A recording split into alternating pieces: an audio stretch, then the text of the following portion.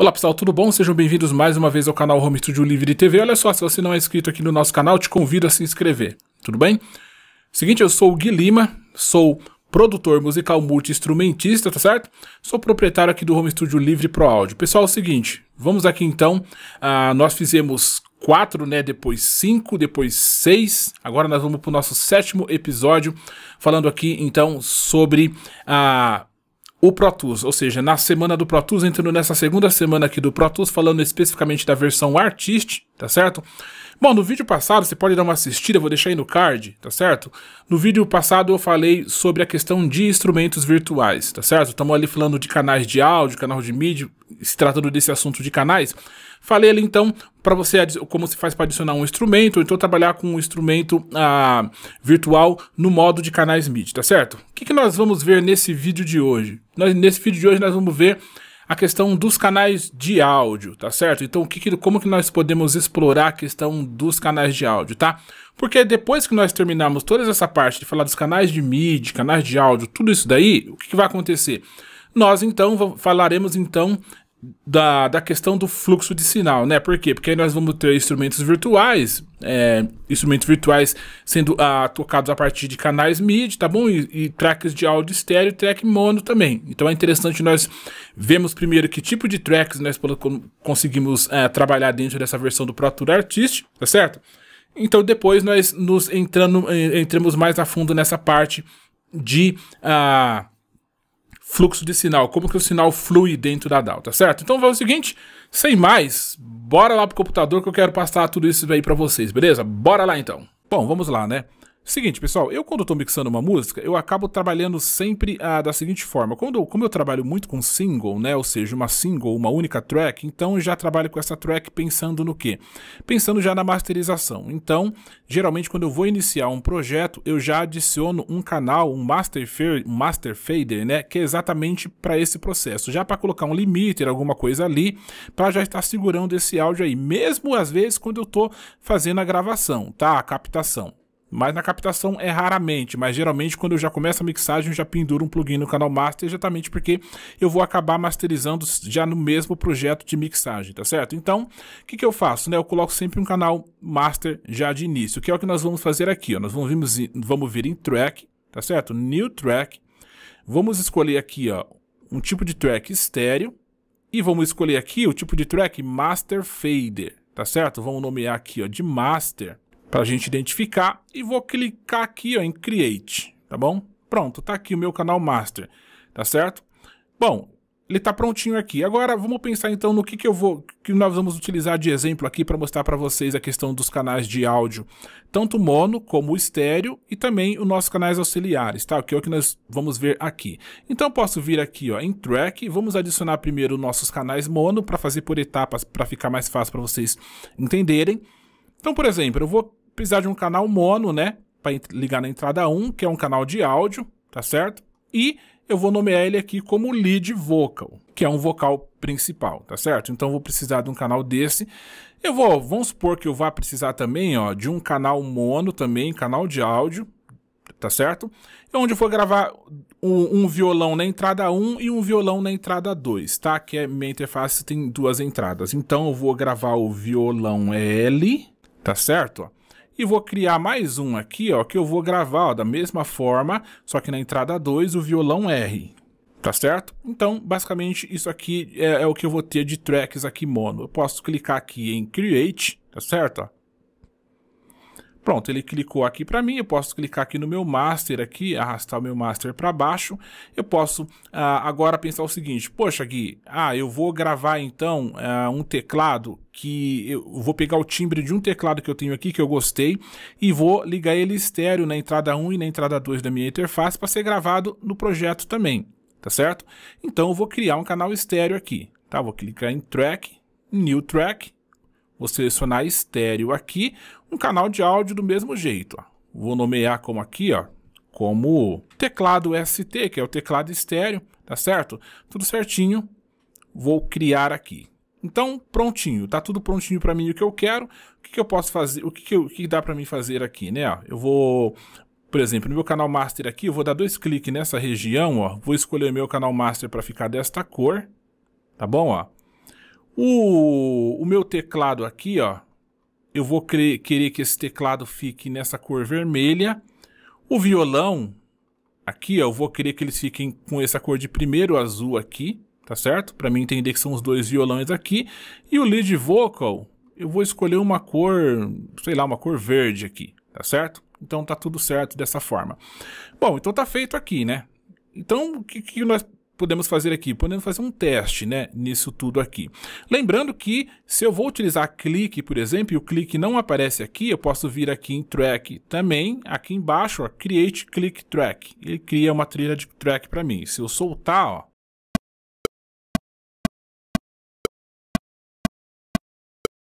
o clique já está soando, já passando pelo meu canal master, tá certo?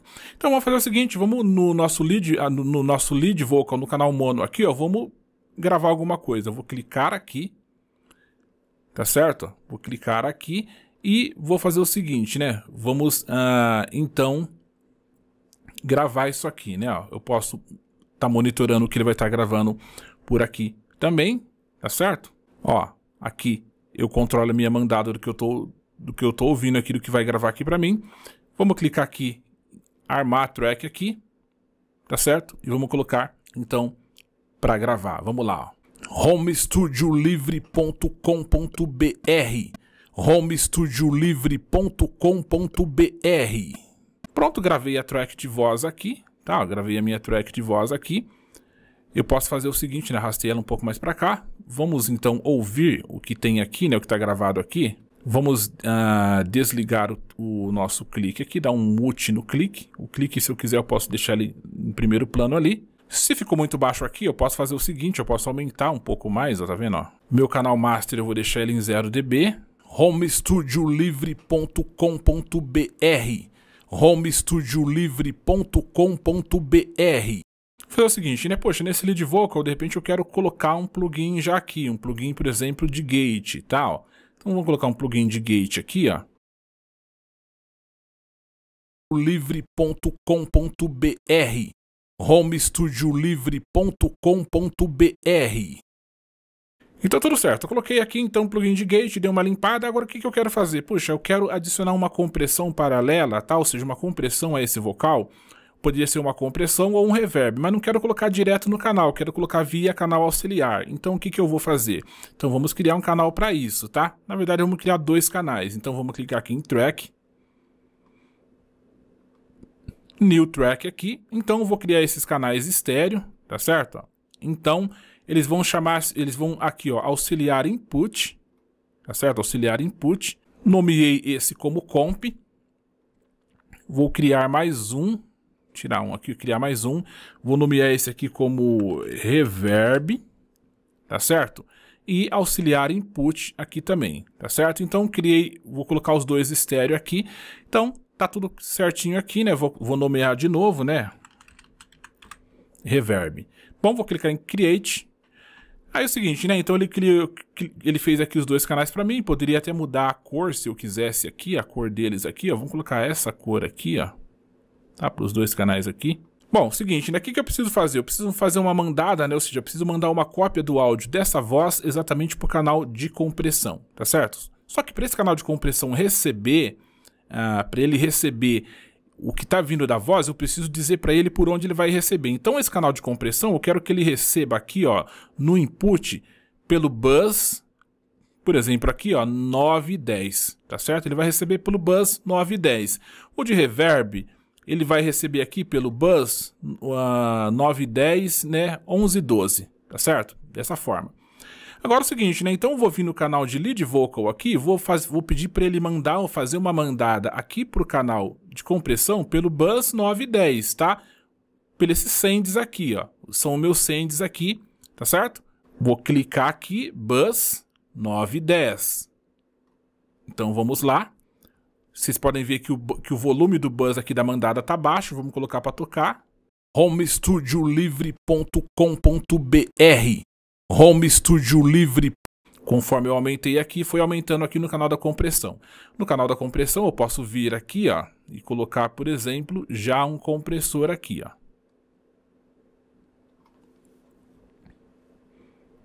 Esse compressor, por exemplo, da Focusrite, tá? Vem nativo aqui, como nativo aqui dentro dessa versão do Pro Tools, tá, pessoal? homestudiolivre.com.br homestudiolivre.com.br Aquilo que eu falei para vocês, no meu canal master aqui, ó, eu gosto de já pendurar alguma coisa, né, algum plugin, então vou pegar um plugin exatamente de limiter e colocar aqui, ó. Então esse plugin de limiter para colocar aqui, vamos lá. homestudiolivre.com.br homestudiolivre.com.br Tá certo, vamos, colocamos esses aqui, né? Agora vamos, vamos pegar o seguinte, poxa, colocamos esses plugins, o que, que nós queremos fazer mais aqui? Nós queremos fazer mais algumas coisas aqui. Uh, por exemplo, então vamos lá pegar o nosso canal de reverb. Vamos escolher primeiramente um reverb aqui, ó, tá? Vou escolher um reverb aqui. Vamos pegar, por exemplo, aqui um reverb muito bacana dessa empresa aqui, ó, esse reverb aqui. Então vou pegar esse reverb aqui, tá certo? E vou fazer uma mandada do canal de voz, então, né, do canal de voz pro reverb lá, tá? Então, eu tenho mais um, um slot de bus para fazer aqui, eu vou mandar pelo bus, que é o 1112.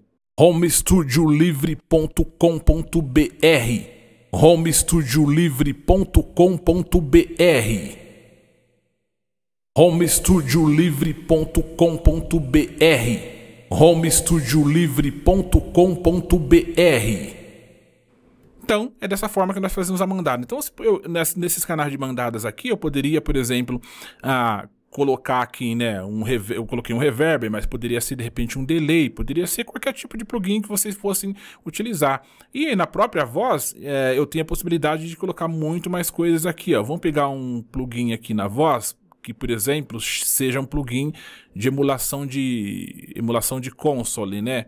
Vamos pegar aqui, ó por exemplo, aqui um SSL, tá? homestudiolivre.com.br homestudiolivre.com.br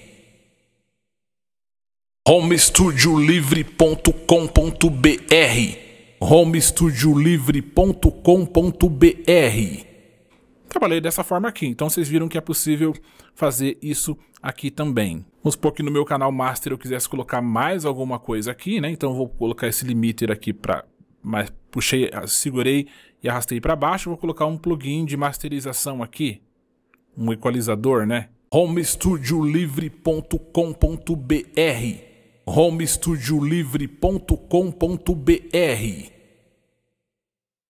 homestudiolivre.com.br homestudiolivre.com.br então, basicamente, o que, que nós podemos ver aqui, né, gente? Ah, como eu não, tenho, eu não tenho aqui, por exemplo, um teclado, não tenho um teclado para ligar em estéreo aqui, mas é o seguinte, né? Um teclado estéreo aqui, ó, que nós vamos perceber aqui, ó.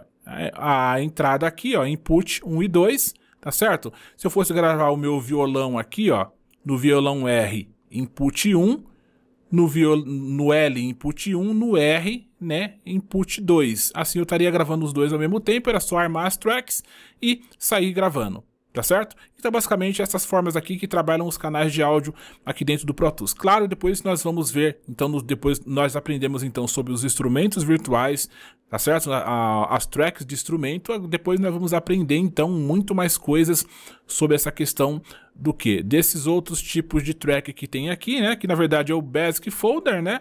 E... Uh, que sobrou aqui pra gente dar uma olhada, e o Routing Folder também, tá certo, pessoal? Então é isso daí, espero que vocês tenham gostado aqui, vamos cancelar aqui e, ah, claro, tem muito mais coisas, muito mais possibilidades que a gente pode trabalhar aqui dentro, por exemplo, vocês estão vendo os sands aqui, vocês podem perguntar, Gui, como que eu vejo esses sands aqui, tá? Como que ele aparece aqui para mim, tá? Se vocês clicarem aqui, ó, eu posso selecionar o que, que eu quero ver na minha window, na minha janela. Os sands aqui nós estamos vendo de A a E, tá certo? Mas tem mais sands ainda, que eu posso colocar. Então tem 1, 2, 3, 4, 5.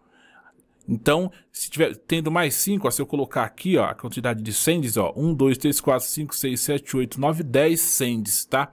É bastante sands para fazer, que a gente pode fazer. Inserts também a mesma coisa, tá bom? E é isso daí, espero que vocês tenham gostado e aguardem então os próximos vídeos que a gente vai falar muito mais de algumas questões aqui de roteamento aqui dentro. E aí pessoal, O que vocês acharam? Vocês gostaram do conteúdo? O que vocês achou do conteúdo? Muito legal, muito bacana o conteúdo. Então é o seguinte, ó. Quer acompanhar os outros conteúdos?